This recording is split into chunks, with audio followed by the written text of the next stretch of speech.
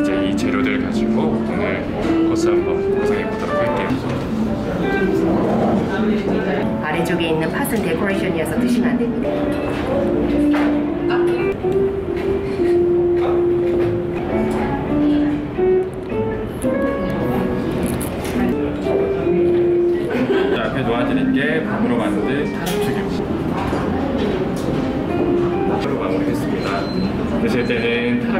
먼저 한번.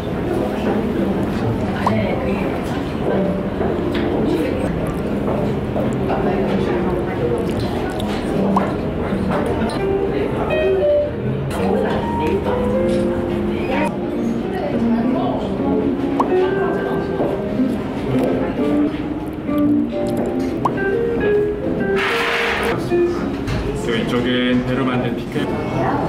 근데 나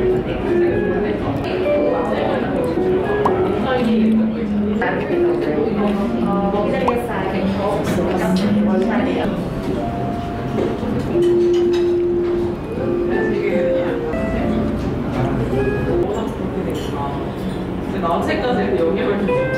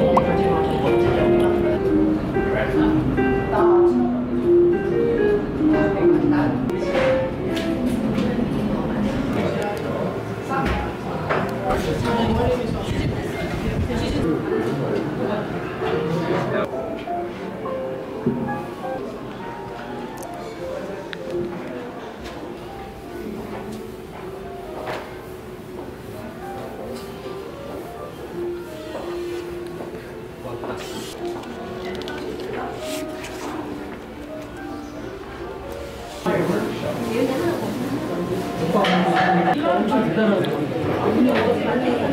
집에 있었던 거예요.